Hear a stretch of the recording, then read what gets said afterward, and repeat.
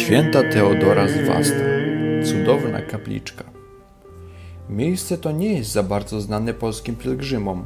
Jest trudno dostępne, znajduje się na Peloponezie, ale kryje się za nim niezwykła historia i wśród prawosławnych Greków jest ono znane, jest przez nich odwiedzane.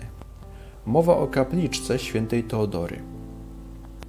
Związany jest z nią żywot tej świętej. Święta Teodora żyła w X wieku w małej miejscowości zwanej Wasta. Były to czasy, kiedy w Imperium Bizantyjskim, na którego terenie żyła, władza zbudowana była na zasadach militarnych.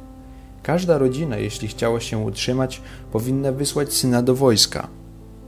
Nie musiała wtedy płacić podatku. Rodzina Teodory była bardzo biedna, nie było synów, a jedynie córki. Ojciec zmarł. W związku z tym nie było mężczyzn, którzy mogliby służyć w wojsku. Tak więc jedna z córek, Teodora, postanowiła przebrać się za mężczyznę i wstąpić do wojska, aby uchronić rodzinę od podatku. W wojsku została oficerem i nikt nie rozpoznał, że nie jest to mężczyzna. Pewnego razu wydarzyła się pewna historia. Jakaś kobieta doniosła władzom, iż rzekomo została zgwałcona przez oficera wojska i zaszła w ciążę. Fałszywie oskarżyła o to właśnie Teodorę. Święta w swojej pokorze przyznała się do winy, ale napisała rodzinie list, w którym wskazuje na niewinność. Rodzina wyruszyła na ratunek, jednak gdy dotarli, było już za późno. Teodora, jako mężczyzna, została stracona przez sąd wojskowy. Kiedy przedstawiono wszystkim list Teodory i sprawdzono, że faktycznie była kobietą, nastąpił lament z powodu niesprawiedliwej egzekucji i jej świadectwo stało się znane.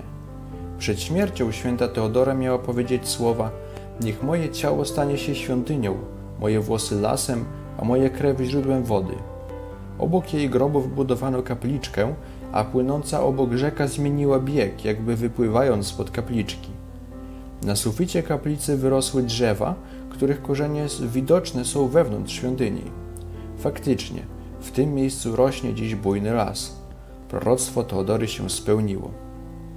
Obecnie w tym miejscu znajduje się wspomniana kaplica, sklepik i tawern dla pielgrzymów, gdzie można odpocząć po wymagającej wędrówce. Bardzo ciężko dojechać tam autokarem, dojazd samochodem jest możliwy, ale nie jest prosty. Czeka nas wiele serpentyn i zakrętów. Na koniec parę słów od właścicielki znajdującej się obok tawerny. Σας περιμένουμε στο πανέμορφο χώρο μας.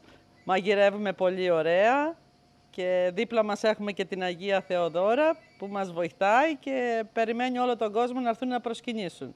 Ευχαριστώ. Ah.